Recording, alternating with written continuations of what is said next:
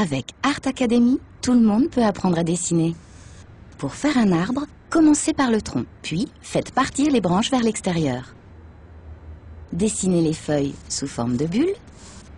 Utilisez le pinceau moyen pour colorier la végétation. Terminez avec les ombres et les détails. Vous avez réussi Apprenez pas à pas les techniques de la peinture et du dessin avec Art Academy sur Nintendo DS.